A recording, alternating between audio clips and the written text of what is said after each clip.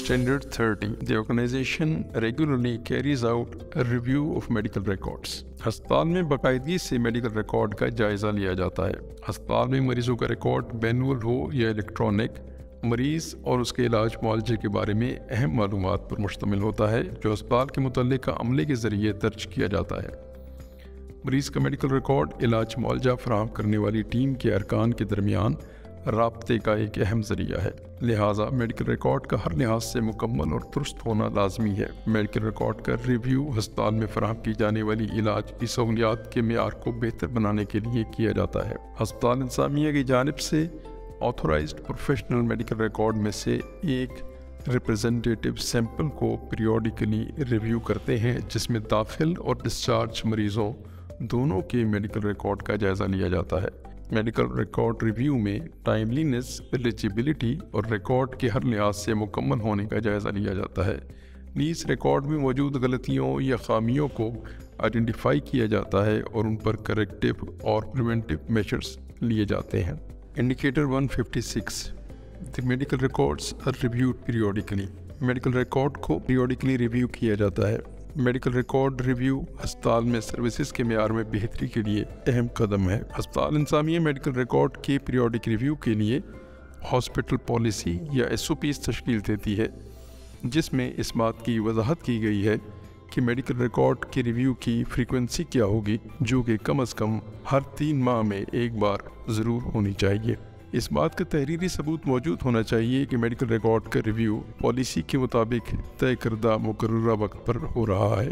Indicator 157 the review uses a representative sample based on statistical principles. Medical record का जायज़ा statistical principles की बुनियाद पर रिप्रेजेंटेटिव सैंपल लेकर किया जाता है। अस्पताल इंतजामिया मेडिकल रिकॉर्ड के लिए दरकार रिप्रेजेंटेटिव सैंपल के लिए हॉस्पिटल पॉलिसी या एस तश्कील देते हुए स्टेटिस्टिकल प्रिंसिपल्स को मद्देनज़र रखती है।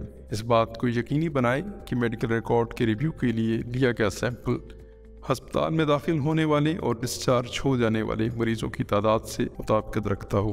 इस बात का तहरीरी सबूत मौजूद हो कि मेडिकल रिकॉर्ड का रिव्यू पॉलिसी के मुताबिक हो रहा है। Indicator 158 The review is conducted by identified care providers and health professionals. Medical record का रिव्यू मखसूस केयर प्रोवाइडर्स और हेल्थ केयर प्रोफेशनल्स के ज़रिए किया जाता है अस्पताल इंतजामिया मेडिकल रिकॉर्ड के रिव्यू के लिए एक कमेटी तश्कील देगी जिसमें जॉब डिस्क्रिप्शन और क्वालिफिकेशन के मुताबिक ऐसे प्रोफेशनल्स को शामिल किया जाना चाहिए, जो खुद भी मेडिकल रिकॉर्ड में इंदराज की मजाज हैं रिव्यू करने वाले प्रोफेशनल्स मेडिकल रिकॉर्ड की कॉन्फिडेंशियलिटी का लाजमी ख्याल रखेंगे।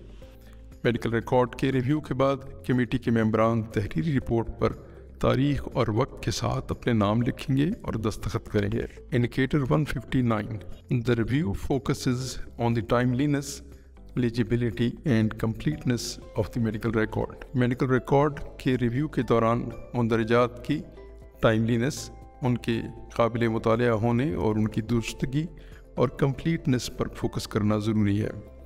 हस्पताल इंसामिया मेडिकल रिकॉर्ड की पॉलिसी या एस में इस बात को लाजमी करार दे कि मरीज़ का मेडिकल रिकॉर्ड हर लिहाज से मुकम्मल हो और इस तरह की लिखाई में हो जो लिखने वाले के अलावा बाकी अफराद भी पढ़ सकें और मेडिकल रिकॉर्ड में इंदराज करने वाले अफराद तारीख और वक्त के साथ अपना नाम लिख कर दस्तखत किया करें।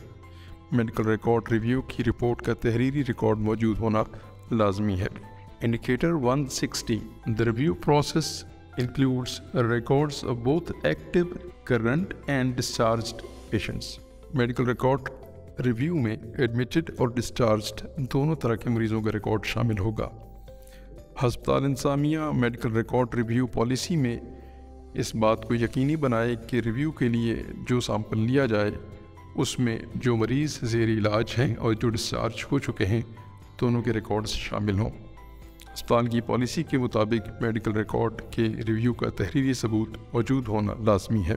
Indicator 161 the review identifies and documents any deficiencies in the record medical record के रिव्यू में गलतियों और खामियों की निशानदही की जाती है और इन्हें रिव्यू रिपोर्ट में तहरीर किया जाता है। अस्पताल की मेडिकल रिकॉर्ड रिव्यू पॉलिसी में इस बात को यकीनी बनाए कि जब मेडिकल रिकॉर्ड का रिव्यू किया जाए तो इसमें मौजूद खामियों और गलतियों की निशानदेही ज़रूर की जाए। किसी भी मेडिकल रिकॉर्ड में गलती हो सकती है। पॉलिसी के मुताबिक जो गलतियाँ दुरुस्त की जा सकती हैं, उन्हें वक्त और तारीख के साथ वाज अंदाज में अलहदा लिखा जाए। तसी करने वाला अपना नाम लिखे और दस्तखत भी करे। किसी भी किस्म की गलती को मिटाने या छुपाने की कोशिश न की जाए। ज़रूरी है कि ओरिजिनल एंट्री और करेक्टेड एंट्री दोनों वाज तौर पर महफूज हों। Indicator 162 Appropriate corrective and preventive measures undertaken are documented.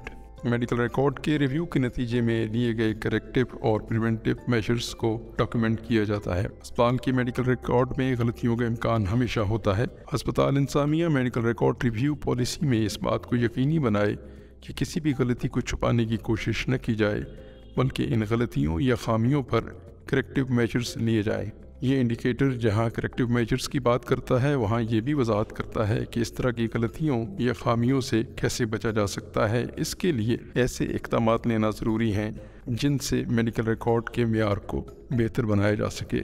Medical record review committee अपने मिनट्स ऑफ़ मीटिंग में खामियों को डिस्कस करने के बाद करेक्टिव एंड प्रिवेंटिव मेजर्स तजवीज़ करेगी और अस्पताल इंतज़ामिया इस बात को यकीनी बनाएगी कि मेडिकल रिकॉर्ड रिव्यू कमेटी की रिकमेंडेशंस पर अमल दरामद भी हुआ है।